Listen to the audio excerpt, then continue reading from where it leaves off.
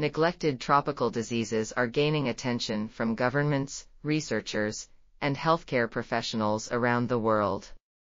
These diseases were first identified in 2005 and include parasitic worms, bacteria, protozoans, and ectoparasites.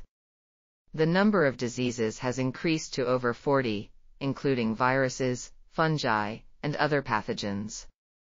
The diseases are prevalent in developing nations, but can affect people in developed countries as well. They cause significant morbidity and mortality, especially in children. Diagnosis and treatment of these diseases can be challenging, so it is important for physicians to be aware of them. This review provides an overview of the most important neglected tropical diseases, their causes, global distribution, and current knowledge gaps.